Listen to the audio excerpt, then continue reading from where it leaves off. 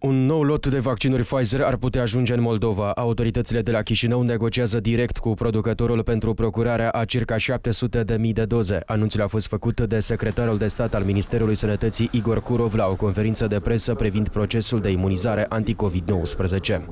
Producătorul mare Pfizer a răspuns totuși la uh, adresările Ministerului Sănătății, Muncii și Protecției Sociale și deja în momentul acesta uh, sunt desfășurate negocieri direct, fără publicare.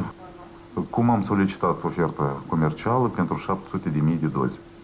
L-am solicitat și acum discutăm. Depinde numărul de doză, depinde de capacitățile producătorului, nu de dorința noastră, cu părere de rău.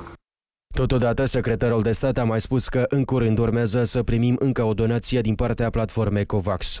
Bună curentă, noi așteptăm totuși de la platforma COVAX încă un lot de vaccin cu titlul de donație pentru Republica Moldova.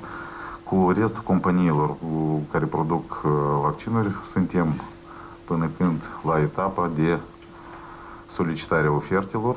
Totodată, premierul român Florin Câțu a anunțat că țara vecină ne va dona încă 100.000 de doze de vaccin AstraZeneca. De asemenea, România este dispusă să ne vândă lunar până la 200.000 de doze la prețul stabilit de Uniunea Europeană am aprobat un proiect de hotărâre de guvern prin care donăm încă 100.000 de doze de vaccin AstraZeneca Republicii Moldova.